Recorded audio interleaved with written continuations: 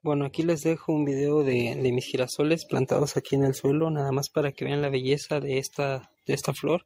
Es muy muy grande, muy bonita. Eh, son, no son gigantes, o quizás sí, solo que pues aquí les faltó agua, ya que los sembré cuando todavía no se activaba la temporada de lluvias. Apenas está comenzando y se han quedado pequeños, pero estoy pensando en sembrar unos nuevos para ver qué tanto crecen. Porque, pues, para ser sincero, fueron unos girasoles muy grandes para para la poca agua que tuvieron, entonces para que los vean. Aquí se va a abrir otro. Ya se está, ya están asomando los pétalos. Aquí está uno que el viento me lo había tirado, por eso lo puse de esta manera, pero como ves también está bastante grande. Lo que lo tengo aquí atorado para pues para evitar que, que el viento me lo vuelva a tumbar, ya que se enderece lo soltaré de ahí. Aquí tengo otro que el viento también me lo tiró.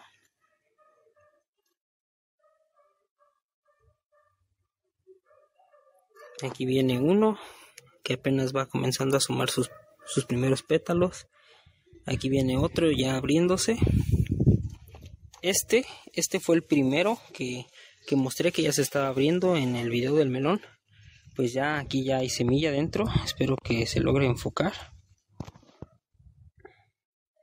Aquí ya hay semilla. Ya se alcanzan a ver algunos como puntos negros alrededor. Toda esa es la semilla que estará disponible para sembrar girasol el año que viene. O bien para dentro de unos meses. Aquí tengo otros más que tumbó el, el viento, desgraciadamente. Pero pues están sanos, no, están rotos. Este, mira, como por ejemplo este ya se levantó. Eso es lo que quiero hacer con aquel. Quiero esperar a que él mismo, eh, buscando la luz, se, se, se ponga derecho de nuevo como este. Este también estaba tirado. Aquí tengo otros que no sé, mira, sí, ya también, este también ya se levantó. Entonces, pues si se los llega a tumbar el viento, este todavía no se mantiene, entonces este lo voy a dejar atorado un poco más.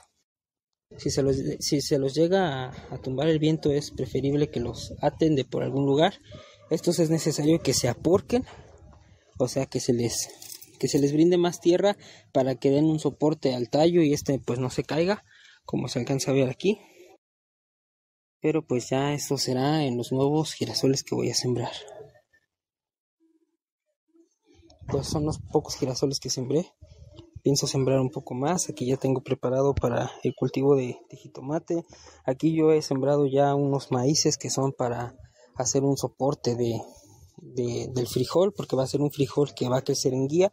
Entonces voy a ocupar el maíz como soporte, como caña, como si fuera un tutor. Entonces por eso es que ya he sembrado aquí lo que es el maíz. Aquí también ya he sembrado lo que es este el maíz. Como pueden ver está bastante junto, pero es porque el maíz lo tengo principalmente para que sea como un tutor para el frijol que estoy por sembrar entonces primero he sembrado el, maíz, ya posteriormente voy a sembrar el frijol cuando las plantas de maíz ya tengan aproximadamente unos 10 centímetros de, altura. Entonces eh, estaré actualizando poco a poco para que vayan viendo eh, cómo es que tengo pensado sembrar el frijol pues en un futuro.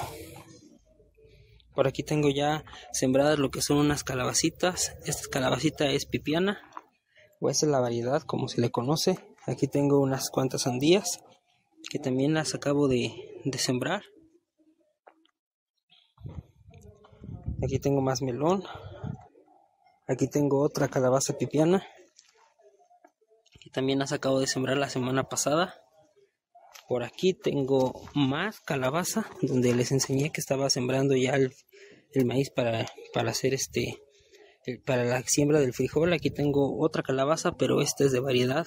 Eh, calabaza blanca, es una calabaza muy grande, muy tradicional para el, para el consumo de calabaza en dulce aquí en México.